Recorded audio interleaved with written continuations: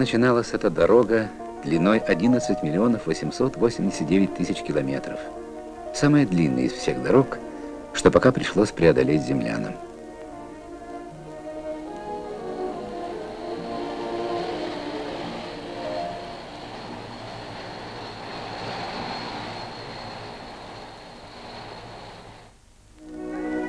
В середине 20 века человечество, движимое извечной жаждой познания, проникла в космическое пространство. Впервые человек покинул родную планету. И хотя из трех миллиардов землян только 48 побывали в космосе, наверное, все задавали себе вопрос, как они летают там. Ведь мы антеи. Земля нас породила и накрепко привязала к себе. Поводок, на котором вводит природа человека, очень короток полторы-две минуты без кислорода и конец. Запасы кислорода, воды, пищи можно взять на борт корабля, но нельзя взять с собой земную тяжесть. Как же люди будут обживать космос? Долго работать на орбитальных станциях, ведь там непривычная для человека невесомость. Что говорят об этом сами космонавты? Вадим Волков. Когда мы вышли на орбиту. Мы не стали дожидаться э, какого-то времени э, выхода из кресла. Отвязали привязную систему и буквально через несколько секунд после выведения с Виктором Горбатко вышли в орбитальный отсек. Сделали несколько пробных пируэтов или сальто. Поняли, что состояние наше не изменилось, что чувствуем мы себя хорошо. И в течение всего полета наше состояние, состояние нашего экипажа оставалось все время хорошим, работоспособность была у нас достаточно высокая. Конечно, Виктор Горбатко. Я так и считал и буду считать, что она имеет свои преимущества, но кажется и больше недостатков. Дело в том, что примерно через полтора витка у меня появилась довольно такая большая боль в голове. Эта боль продолжалась в течение двух, двух с половиной витков. Затем она утихла вставали обычно как будто со свежей головой. Но в концу дня и особенно половины дня появлялось такое впечатление, что большой прилив крови в голове. Ну, с чем можно сравнить вот такое ощущение? Это можно Анатолий Филипченко. В условиях с тем, что человека, вот если подвесить, что ли, за ноги вниз головой, вот примерно такое вот ощущение это вот прилива крови к голове. Это воспринимается не очень приятно, но вот это ощущение такого наполнения, что ли, головы кровью, оно проходит после сна. Чисто физиологически, наверное, я не знаю, как объясняет это медицина, но Владимир Шаталов с этим чувством, борется в течение всего полета. Ну, как по-человечески сказать это? Ну, не хочется пить. Нет желания пить. Несмотря на то, что я первые сутки работал один, долго, напряженно, готовился к вылету, в полете провел весь день. И к концу дня казалось бы, должен захотеть пить по-настоящему. У меня не было желания. Я взял трубку, там знал, что надо пить, инстинктивно потянулся. Вода холодная, приятная, очень но организм не принимает, как ртуть, как что-то такое инородное. Американский астронавт Нейл Армстронг. Большинство наших космонавтов считают, что состояние невесомости – это очень приятное состояние. I personally uh, share that uh, particular view. Я лично разделяю это мнение. Uh, however, a few uh, individuals have had uh, some difficulty in adapti- adapting to that, uh, that particular environment.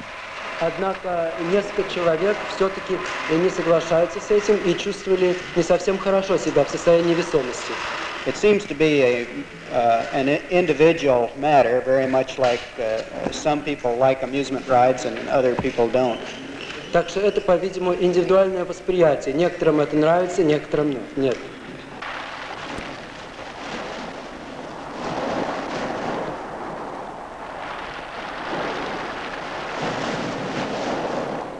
Да, люди будут чаще летать в космос. Но сколько они могут пробыть там без ущерба для своего здоровья? От ответа на этот вопрос зависит и программа будущих пилотируемых полетов, и конструкции самих кораблей. Вот этим двум ветерану отряда советских космонавтов Андриану Григорьевичу Николаеву и молодому ученому Виталию Ивановичу Севастьянову предстояло пробыть в космосе 18 суток. Дольше всех, кто летал до них. 14 месяцев готовились они к новому этапу обживания космоса.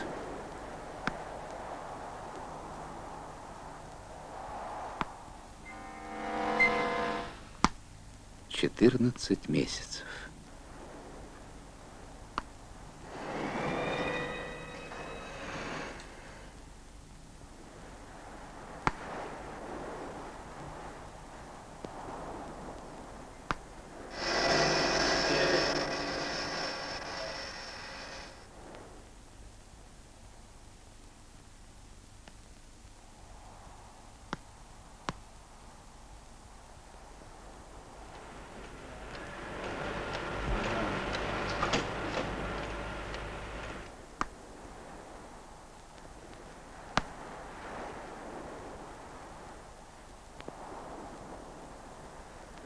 Пока это только кратковременные тренировки в самолете. Но скоро их ждет встреча с реальной невесомостью космоса, где им предстоит провести 424 часа.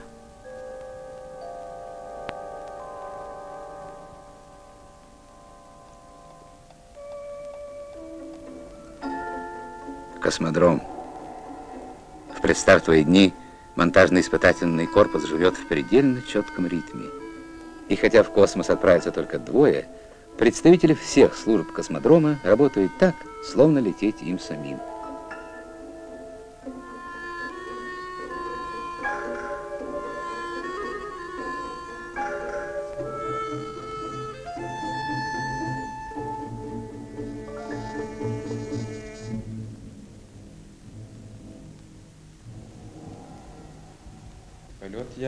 Сказать, будет продолжительным, поэтому надо себе настроить на работу хорошую и на выносливость, на продолжительность, чтобы э, первые дни не истратить все силы, а как-то приберечь, и чтобы хватило на весь полет.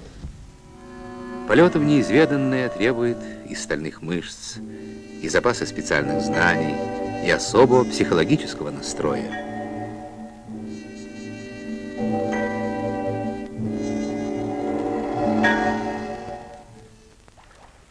И, может быть, несколько часов рыбалки накануне старта сыграли не меньшую роль, чем долгие тренировки. А что у вас с пальцем, Андрей Андреевич? Это вот сегодня на рыбной ловле щук откусила полпальца. Пришлось. Э, вообще-то здорово прокусил. Приставили снова, заросло все. Там дырочка одна маленькая самое осталась. обидное. Из всего мы с Виталием Ивановичем сегодня поймали 8 щук. Он 5, я 3. У меня четвертая щука сорвалась. Сорвалась и вот рано. За два часа? Да. Ну тут Надо сказать, Вот рыболовиться они так, примерно что такие трудно даже. Место здесь детали. превосходное. Надо было показывать. Сейчас привезут, наверное, мы покажем. Нет, без преувеличения. А в общем, конечно, в основном весь день занят. Занят работой. И, как всегда, вот в состоянии подготовки к какому-то длительному путешествию хочется посмотреть, положена ли соль, завязан ли карман. Людей вокруг очень много участвует в подготовке полета. Каждый тщательно и внимательно следит за своим вопросом, поэтому где-то тебя буквально в коридоре встречает и говорит, а вот моя аппаратура уже прошла испытание, все спокойно, все нормально. Другой тоже говорит, вот слушай, а вот как надо так сделать? То есть получается ситуация, когда масса людей сейчас вокруг ходит и говорит, что вот все закончено, все закончено, вот где-то последние черточки в методиках научных экспериментов. То есть напряжение какое-то еще есть, но оно уже сходит на нет, потому что все-таки этап подготовки заканчивается.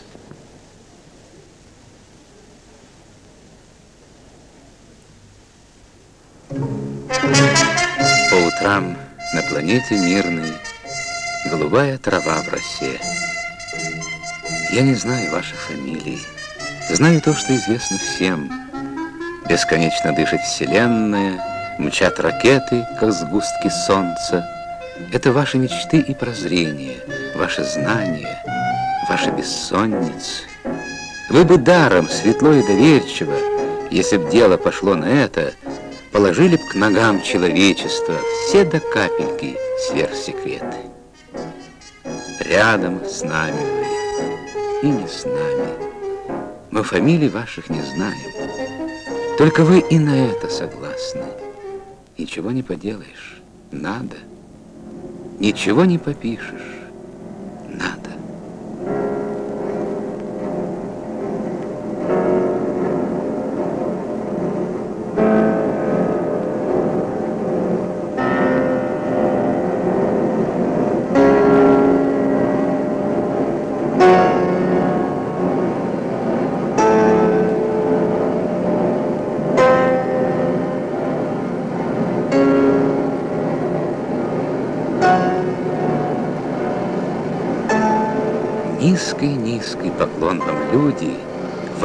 Вам великие без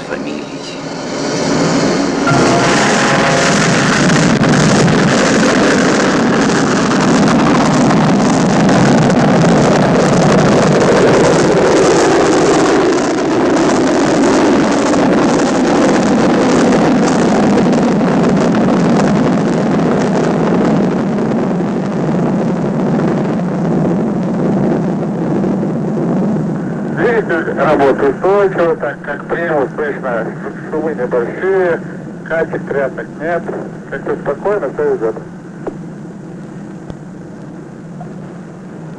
Самотечность отлично повелось, постепенно нарастает. Вышли на свет правого элеватора строго на солнце. И строго в правом элеваторе находилась третья ступень. Но у нас еще есть время связи, свои впечатления. Могу продолжить. Давай. Я первый раз Андрей спокойно переносит. А ты волнуешься, что ли? Да нет, не- совсем не волнуюсь. Ну да. Он с большим восхищением все воспринимает это. Да. Э, иногда и о программе забывает. Он все наблюдает пока. Прекратить забывать о программе. А это программу он выполняет точно, я в качестве шутки говорю. Он сильно увлекается, пока ему интересно смотреть иллюминаторы, конечно. Просто такое приподнятое настроение у меня, у него было. Я это просто в качестве шутки только сказал. Мы после выхода на орбиту выполняли полностью всю программу полета так, как было расписано.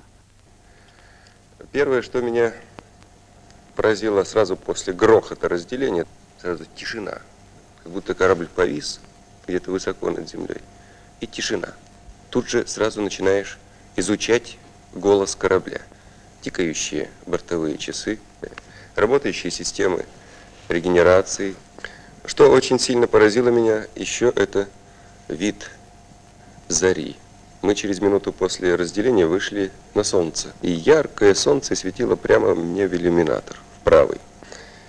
И вот после этого наступает этап адаптации, то есть привыкания человека к условиям невесомости.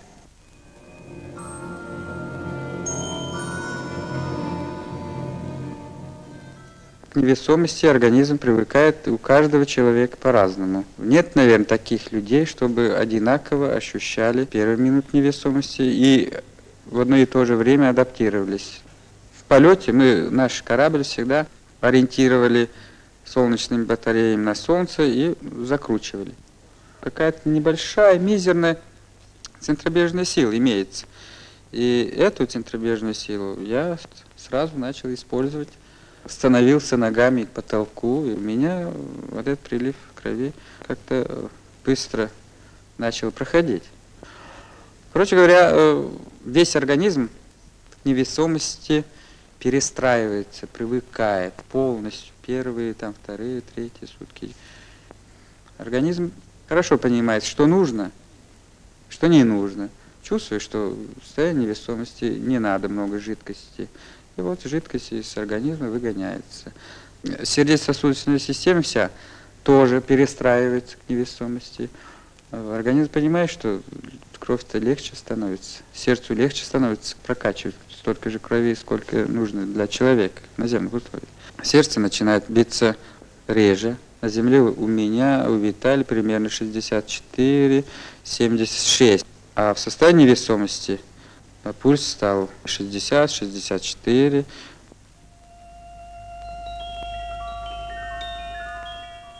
Специалисты позаботились о том, чтобы им легче было привыкать к космическим завтракам, обедам и ужинам. Удобнее было есть. В отличие от предыдущих полетов, на борту «Союза-9» был подогреватель пищи. И борщ, харчо, кофе с молоком можно было разогреть. Все продукты были приспособлены к условиям невесомости, или упакованы в тубы, или в консервные банки. Хлеб выпекли в виде крошечных буханочек – и упаковали в пленку еще в горячем виде, чтобы он долго оставался свежим. Крошащиеся продукты обернули специальной съедобной пленкой.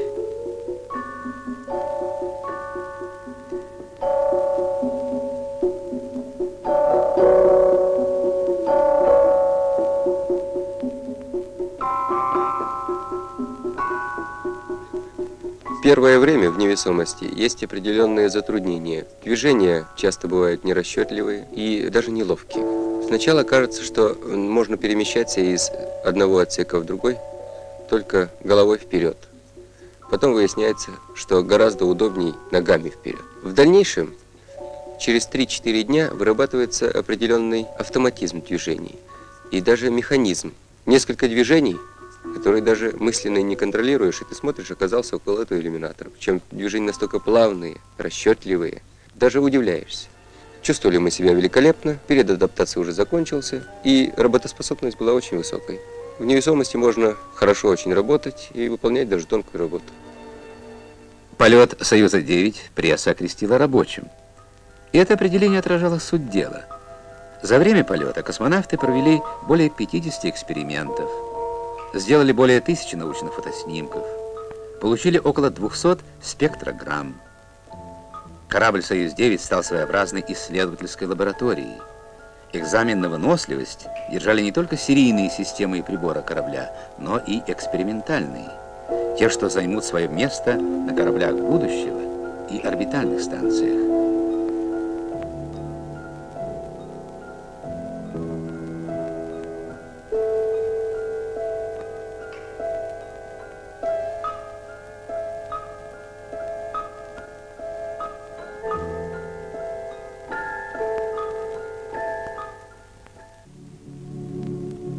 Наш век начал штурм космоса еще и потому, что в конечном итоге это экономически выгодно. Одно лишь появление метеоспутников ежегодно сберегает миллиарды рублей. Только за один виток метеоспутник собирает информацию по объему, равную данным 15-20 тысяч наземных метеостанций.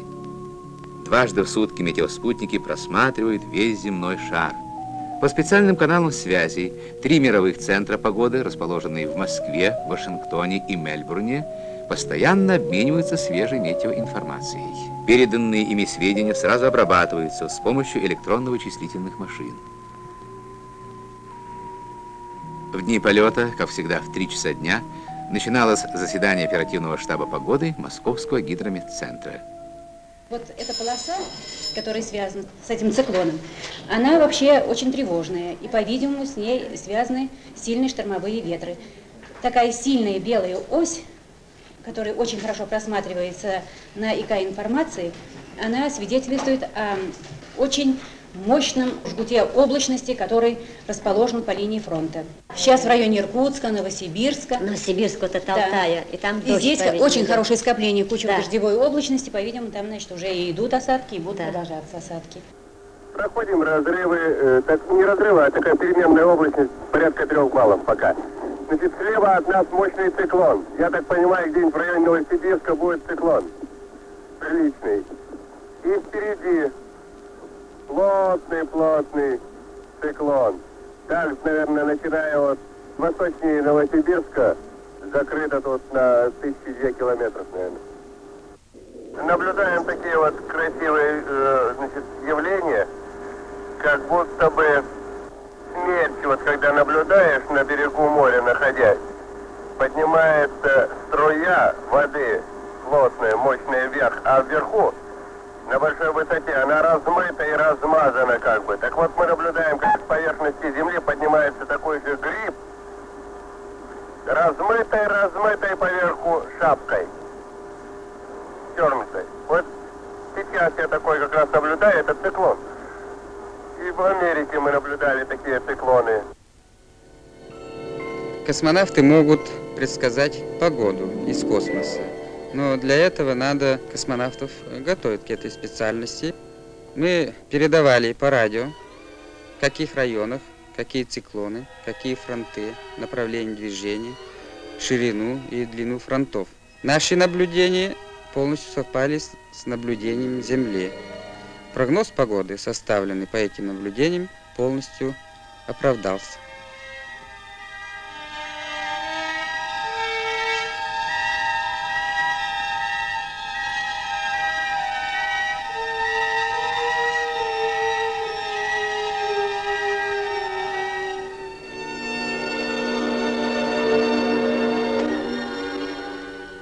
Полета космического корабля «Союз-9» был проведен Сотрудник гидромедцентра СССР Игорь Четверяков. с исследовательского судна «Шершов», которое находилось в этот момент около Мозамбикского пролива между э, Восточной Африкой и островом Мадагаскар.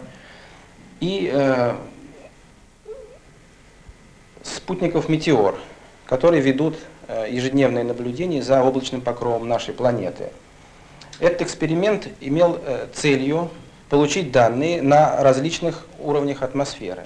Исследовательское судно «Шершов» донесет на себе оборудование для исследования атмосферы в нижних слоях тропосферы и стратосферы.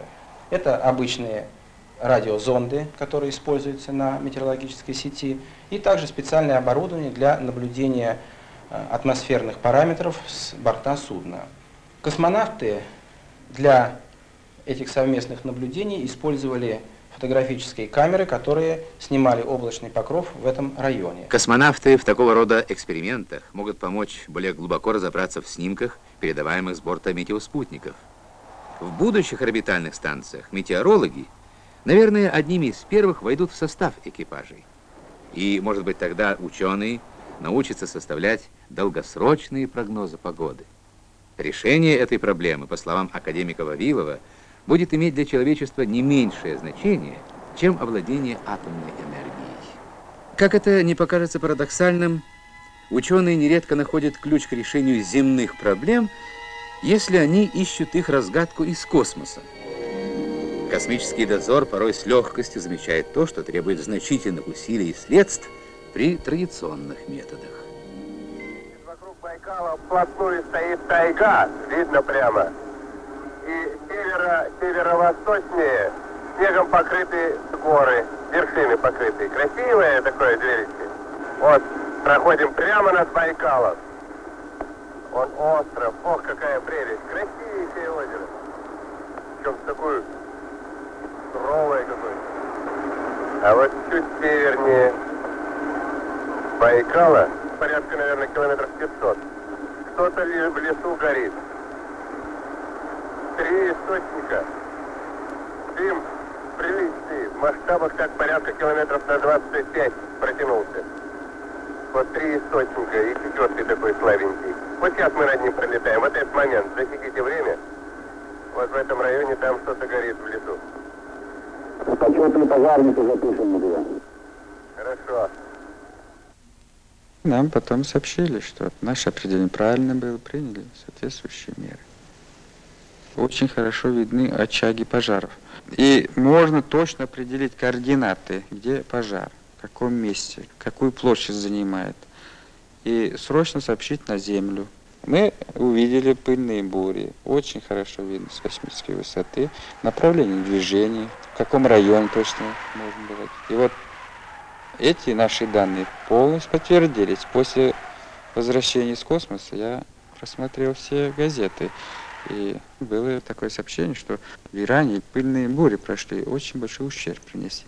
Будущее всегда заложено в настоящем. И эти первые наблюдения космонавтов, возможно, изменят облик многих древних профессий людей. Наблюдения с орбитальных станций существенно помогут, например, геологам, которые практически разведали лишь то, что лежит неглубоко от поверхности. В будущем обязательно будут космогеологические карты. То есть карта Земли будет составлена по снимкам, привезенным из космоса. На этих картах точно будут вырисовываться те районы, где находится нефть, газ, уголь, руда. Мы привезли много фотоснимков из космоса. По этим снимкам я сам, хотя не специалист, определил разломы земной коры, очень четко видны на этих снимках. И направление этих разломов. Я, когда посмотрел, провел эти линии, на месте схождения спросил специалиста по геологии. Он сказал, вы правильно место определили. В этом месте можно предсказать, что 90% нефть. Но это уже большой процент.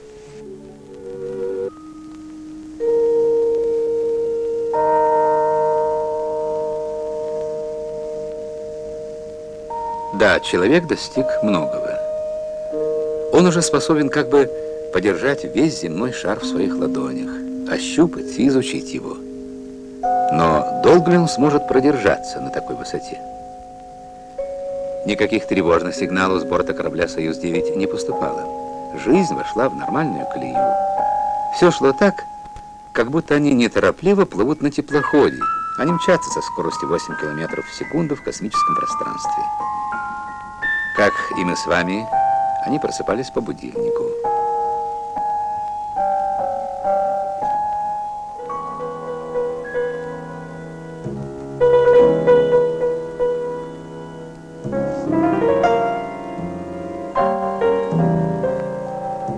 Холодная струя воды для умывания в невесомости не годится.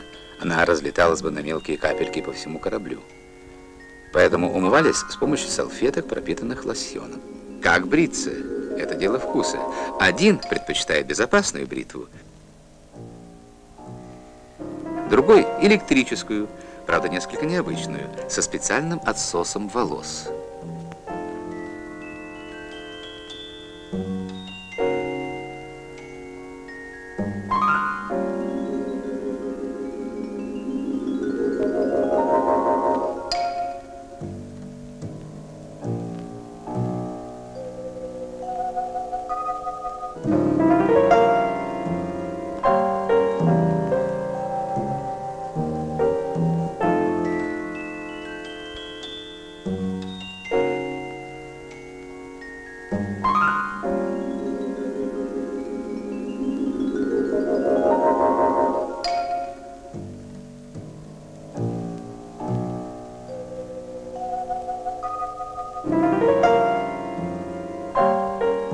Вот теперь экипаж готов к работе и очередному телевизионному репортажу.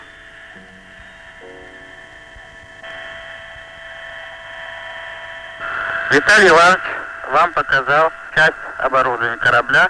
Вот он сидит справа, жизнерадостный. Лучше побрился, и вот он выглядит сейчас прекрасно. Нужно фиксироваться обязательно. Вот сейчас я зафиксировался для того, чтобы работать что-то. Вот ногами я расперся, взял камеру, допустим. Она вот плывет. Руки часто очень заняты, поэтому ноги начинают работать как руки полностью, вся фиксация тела. Когда работаешь с измерительными приборами, с кинофотоаппаратурой, то ногами человек при этом фиксируется. У меня есть очень интересное документальное подтверждение. Вот из космоса э, привез я ценный очень для меня сувенир, носки, которые сношены в космосе.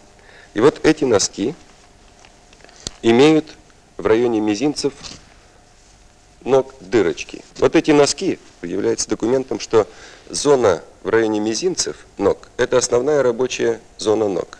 Ноги чаще всего занимают положение пятки вместе, немножко развернуты. И вот распираясь ногами, фиксируясь при работе, снашиваешь носки.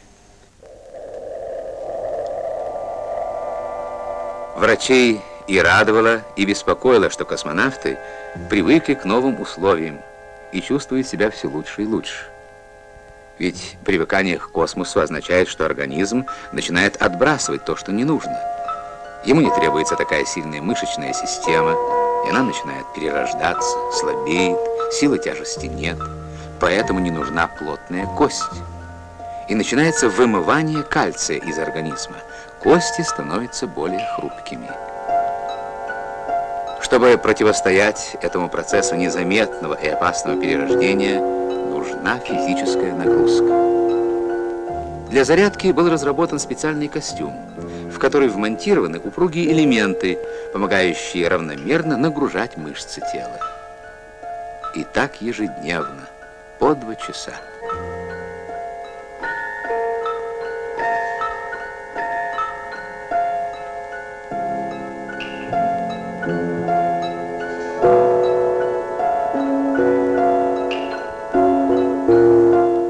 Медики потом выяснили, что за время полета у них уменьшился объем сердца. Если верно, что сердце сжимается от тоски, то отчасти в этом были виноваты думы о родных и близких. Необычность условий острее заставляет почувствовать силу связи с тем, что тебе дорого. День рождения Аленки стал для них праздником. Андрей, Дорогой, добрый вечер. Ты меня слышишь? Добрый вечер. Слышно отлично, Варя. Я от души тебя поздравляю. Днем рождения Аленки. Алену поздравляю. Мы тут с Виталием Ивановичем приготовили маленькие Подожди подарки. одну минутку, подожди. Папа, дорогой, здравствуй. Здравствуй, Алена, здравствуй. Алена, поздравляю тебя с днем рождения. Смотри. А ты скажи ему, папа, сейчас она успокоится. Посмотри. Алена, обещаю, что в следующий раз я никуда не уеду, ни в какую командировку. Буду с тобой день рождения вместе праздновать. Очень хорошо. Хорошо? Спасибо, папа. Папа, а когда ты прилетишь? Скоро, скоро, Алена. Как задание выполнить? Боже, без меня не улетай. Нет, не улечу больше никуда. Мы вас ждем звездным, скорее прилетайте. Что до скорой встречи на земле. Когда мы вошли в зону связи, я сразу услышал э, голос Алены и Вали. И я как-то даже сразу растерялся. Это была большая неожиданность. Ну, после такого приятного разговора я Виталию Ивановичу сказал, Виталий, я как будто бы дома побыл, как будто бы эти 8 суток полета уже где-то позади далеко остались. И вся усталость исчезла. Мне лично в этот день хотелось э, побыть с Валей, с Аленой, посидеть за праздничным столом. Но работа есть работа. Мы вспоминали с Виталием часто о земле. Нам хотелось просто погулять по лесу, с ружишком побродить. Часто очень думаешь, хорошо бы пойти на полянку, посадить Наташку на плечи, чтобы рядом была Аленка, жена моя, которая выкладывала бы мне все новости о моих приятелях, друзьях, с которыми я редко довольно вижусь. За 18 суток полета мы изучили нашу Землю очень хорошо. Пролетая ночью посмотрев один раз в иллюминатор, мы четко и точно определяли, над какой местностью пролетаем.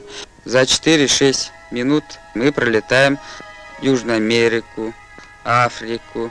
Скажем, за каких-либо 4 минуты мы пролетаем Европу. Пролетаешь над землей и видишь спаханные поля, лесные массивы. Очень хорошо видны реки, дельта Волги, дельта Нила, например, они похожи. Плотины, красивые города. Особенно красивые города ночное время, когда хорошо не освещены. И видишь труд человека, и гордишься человеком.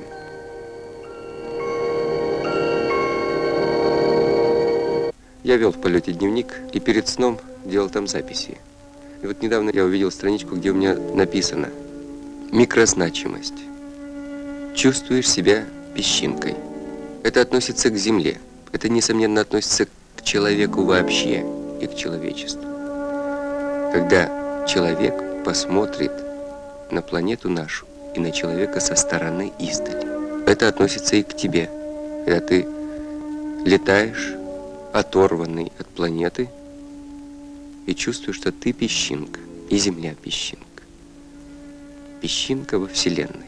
И тут приходят какие-то мысли, как же все-таки на такой маленькой планете миллионы лет развивалось человечество и достигло такого грандиозного прогресса. И что будет с человечеством впереди? Вторая запись у меня в дневнике – макрозначимость. Это чувство большой ответственности перед друзьями, перед тысячами специалистов, которые вложили свой самый дорогой труд в создание корабля, и которые вместе с тобой сейчас ночью, днем переживают все этапы твоего полета. Это ответственность перед сотнями тысяч простых людей и миллионами, которые переживают просто как за человека за тебя в полете и переживают за успешное завершение полета. Это ответственность перед народом, перед страной.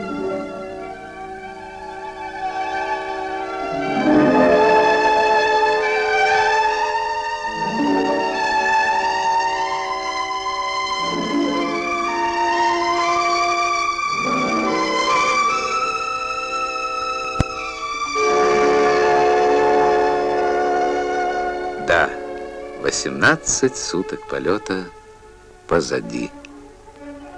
Для всех, кто ждал Николая Севастьянова на земле, этот день был самым длинным и томительным.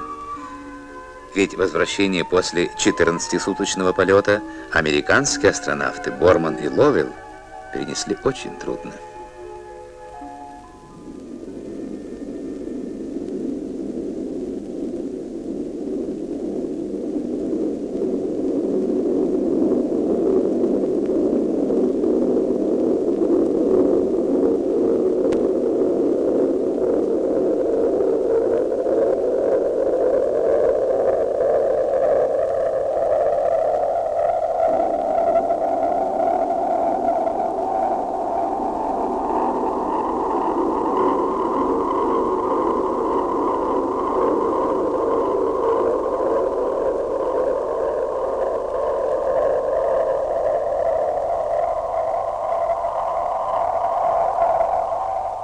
Примерно на высоте 10-15 метров мы приняли позу для приземления, сгруппировались, сработали двигатели мягкой посадки.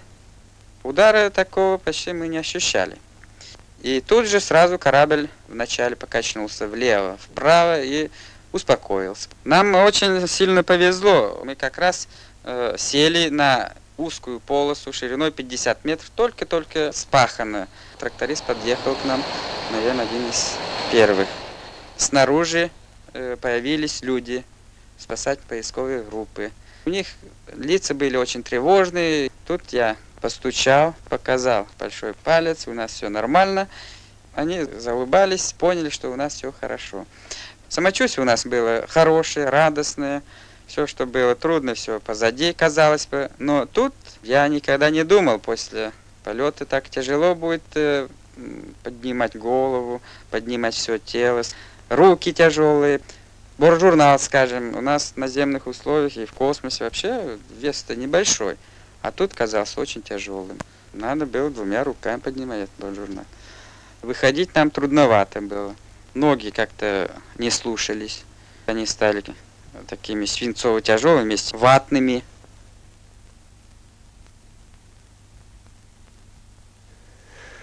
Пытаюсь встать, с громаднейшими усилиями отрывая себя от кресла. Еще не осознаю, что это такое, и даже ищу ремень, который как будто бы не расстегну, и он мешает мне встать.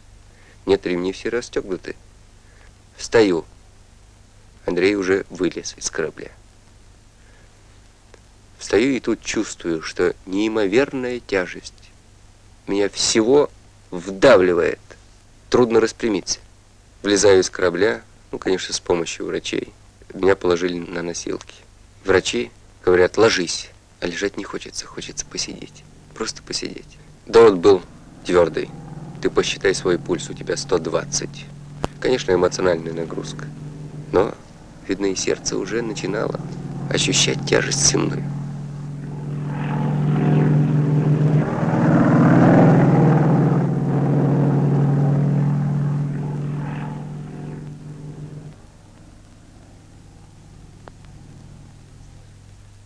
Поспали полтора часа и проснулись.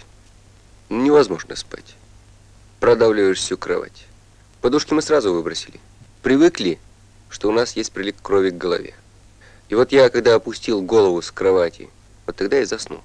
Но вот проснулись мы от того, что мышцы наши все не привыкли к такой работе, к тяжести.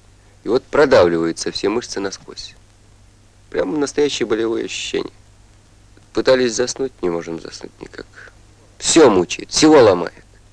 Вот эта тяжесть, она просто поражает. Как люди спокойно спят, отдыхают. Вообще ловко очень перемещаются, двигаются, работают.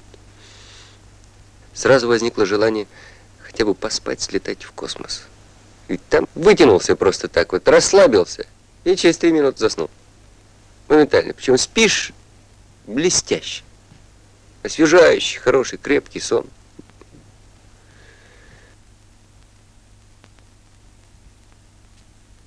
Наш организм, сердечно-сосудистая система не понимала, как работать на наземных условиях. И пульс колебался все время от 60 до 120. Давление тоже.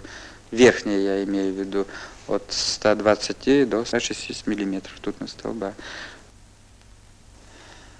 Через три часа мы самостоятельно ходили. Первое время идти было трудно. Нас спасали стенки. Мы думали, если сильно покачнет, есть за что взяться и удержаться в вертикальном положении. Сели мы за стол после посадки. На столе каравай, такой пышный, хороший каравай. Свежие огурчики, помидоры, редиска, вишня, малосольные огурчики лежат. Рядом стоят врачи, конечно. В комнату никого не пускает. Пресса через стеклянную дверь смотрит. Врачи опасались, что от ну, небольшой какой-то инфекции мы можем заболеть. Вот сейчас мы, например, себя чувствуем немножко неземными. Вот мы сидим, на нас давит тяжесть земная. Примерно э, как будто мы сидим э, на центрифуге, и на нас давит две единицы перегрузки. Мы привыкли в мире скорости, вот я вижу что-то на потолке, мне хочется там посмотреть, я хочу, хочу оттолкнуться туда. Шел какой-то интересный процесс. Я беру огурчики и закладываю между пальцев сюда. Беру редиску между пальцев. Отломил кусочек хлеба между пальцев закладываю. Беру потом с тарелки э, севрюгу и начинаю есть руками. Все это объясню, потому что осталась космическая привычка. Привычка все фиксировать. Вот когда мы ели в полете, то всегда фиксировали. Все закладывали и хлеб, там, и в облачке положишь, еще что-нибудь положишь. И в пальцах все у тебя сразу, конфеты там.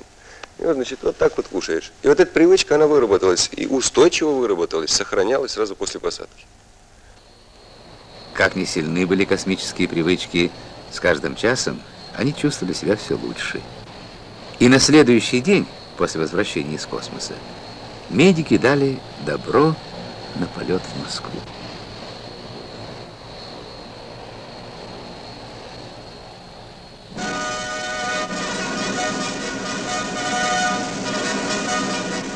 Теперь они могли лично доложить государственной комиссии, всем, кто готовил их полет, вложил в него свой труд и вдохновение, могли доложить Родине.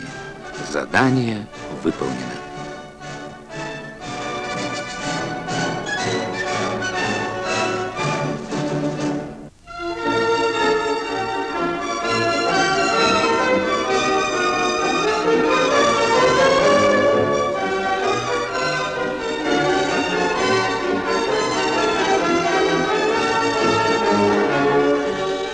Космический этап их работы закончился. Начался земной. Их ждали первые атаки журналистов, вопросы медиков, конструкторов, ученых. Нужно было писать и научные отчеты, и без конца рассказывать, как проходил полет, и что они чувствуют сейчас.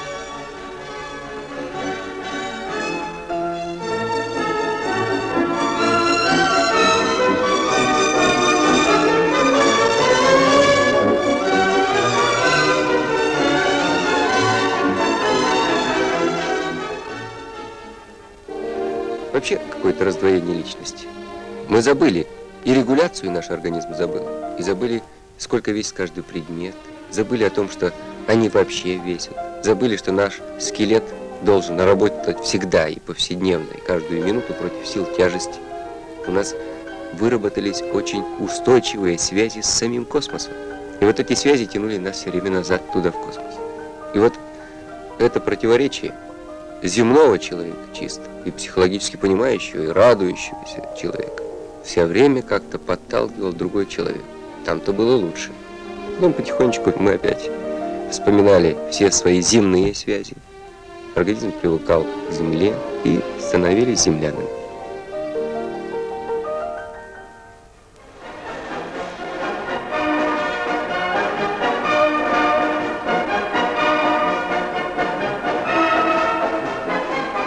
Родина высоко оценила труд экипажа космического корабля «Союз-9». Генеральный секретарь ЦК КПСС Леонид Ильич Брежнев в своей речи на приеме в Большом Кремлевском дворце отметил, «После каждого нового полета отважных космонавтов мы убеждаемся, человек все увереннее по-хозяйски входит в космос. Из романтики первого контакта с неизведанным миром – из отважного вызова этому незнакомому миру, его опасностям и угрозам, космические полеты, при всей трудности и опасности этого дела, все более входят в колею повседневной жизни. Они все более становятся в первую очередь сложной и ответственной работой во имя науки, во имя реальных интересов людей. Весь мир хотел услышать обстоятельный рассказ о полете «Союза-9». На пресс-конференции в МГУ пришло свыше двух тысяч человек.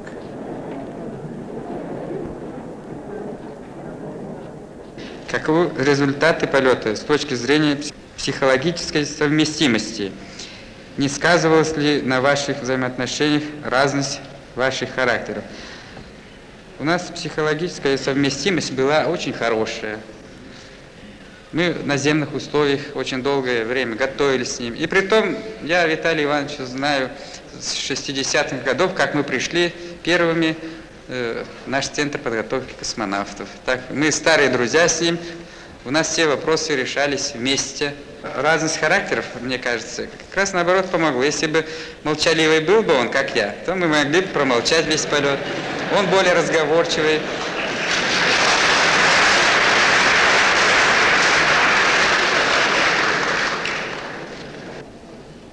Каков ресурс систем жизнеобеспечения на «Союз-9»? Сколько времени вы могли бы продолжить свой полет?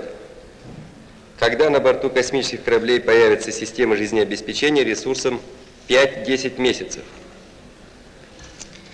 По программе полета намечалось 18 суток. Мы могли летать продолжительнее, дольше могли летать. Трудно сказать, когда появятся такие системы жизнеобеспечения, как 5-10 месяцев. Разработки таких систем ведутся. Когда будут созданы орбитальные станции вот с, с назначением длительного полета, ну, к тому моменту такие системы будут наверняка. Как раз в это время в лабораториях проходили испытания семена различных растений и водорослей, вместе с ними летавшие в космос.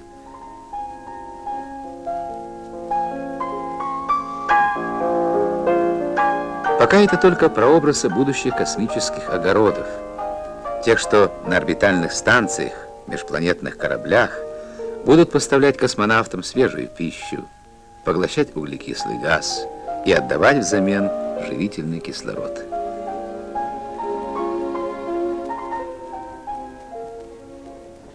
Как вы думаете, долго ли продержится ваш рекорд длительности полета в космос?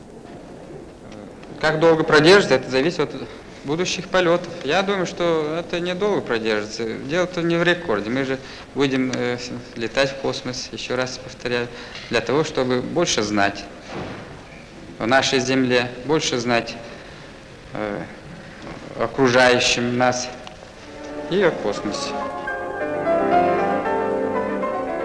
Наше время часто сравнивается с эпохой великих географических открытий. Человек открыл новый мир и по-новому взглянул на свой древний дом Землю. И мы пока только в начале звездного пути. Но как бы далеко ни проник человек во Вселенную, к каким бы далеким звездам ни улетали люди, Земля для них всегда останется родным домом.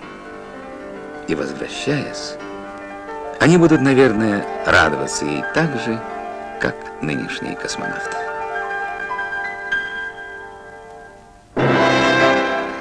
Первое, что поразило нас, это воздух. Свежий, чистый воздух. Мы привыкли к технической атмосфере в корабле. Но аромат запахов земли, мы от него отвыкли. Совершенно отвыкли. Я сел, поднялся на носилки и увидел черную вспаханную землю. Вот тут я схватил горсть земли, просто какая-то эмоциональная слабость, что ли, была и закричал, Андрюш, земля, посмотри, какая она земля-то, какая радость, как приятно было просто в руках растереть землю. Вот тут на самом деле осознал, что человек все-таки вышел из земли, привык к ней слишком.